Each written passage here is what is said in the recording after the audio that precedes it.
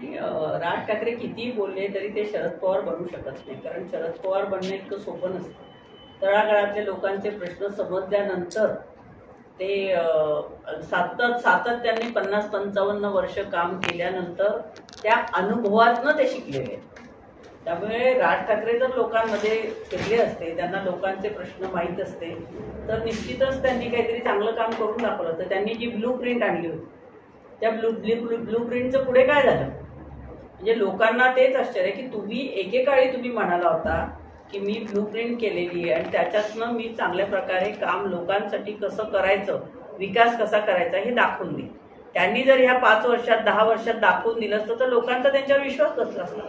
परंतु आता त्यांनी ब्लू प्रिंट बाजूला ठेवून दिली आहे आणि ते भगवा वस्त्र धारण करून ते ह्याला निघाले होते कुठेतरी अयोध्येला.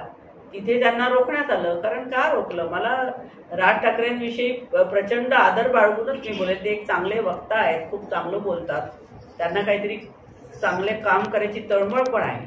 परंतु ते आता भरकटलेले म्हणजे त्यांनी जे लोकांना सांगितलं होतं ते नाशिकला सुद्धा ते करू शकलेले नाही.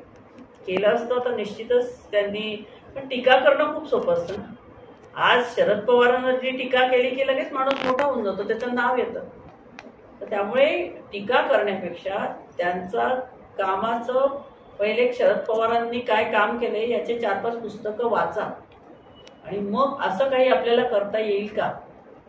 याचे प्रयत्न जर केले तर निश्चितच त्यांना थोडंफार यश येऊ शकेल. परंतु आता जे काय धर्माच्या नावाने प्रत्येक जण म्हणजे जे भाजपने दोन सीटा होत्या त्या चौऱ्याऐंशीवर आल्या चौऱ्याऐंशीवर ते सत्तेत बसले. म्हणजे काहीच करायचं नाही. भाजपने आजपर्यंत तुम्ही मला सांगा पहिल्यांदा भाजपचे दोन खासदार होते त्यांच्यानंतर मंडल आयोगाला सत्तावीस टक्के आरक्षण मिळालं.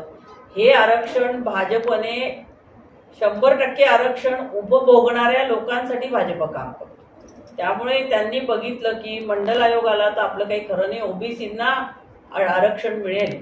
आणि म्हणून तिथपासनं रथयात्रा काढून त्यांनी सतत दोन समाजामध्ये वैर आणण्याचं काम केलं हिंदू मुस्लिम केलं त्याच्यातनं ते मोठे झाले. मग आता राज ठाकरेंना पण असं वाटतं की हे बरं आहे बाबा काही ब्लू प्रिंट द्यायला नको काही करायला नको आपण एक भगवा धारण करूया आपणही अयोध्येला जाऊ म्हणजे आपल्याही पक्षाला मतं मिळतील. पण आता लोक हुशार झालेले आम्हाला हिंदू मुस्लिम नको आहे. जे कोणी आमच्या देशात राहतात ते भारतीय आहेत. आणि मग आम्हाला आता लोकांना कळल्यानंतर आता लोकां हा धडा भाजपला लोकांनी शिकवला पाहिजे. की हिंदू मुस्लिम नाहीच आहे इकडचे मशिदीचे म्हणजे का भोंगे काढ तिकडे हनुमान चालीसा म्हण. अरे हनुमान चालीसा तुमच्या घरात म्हणा मंदिरात म्हणा ना. इथे रस्त्यावरती कोणाच्या तरी मातोश्री बंगल्यात घुसणार आणि हनुमान चालीसा म्हणणार आणि बोगस सर्टिफिकेट देऊन जातीचं प्रमाणपत्र देऊन तुम्ही खासदार होणार. हे काय हा सिनेमा आहे का? शेवटचा प्रश्न आहे.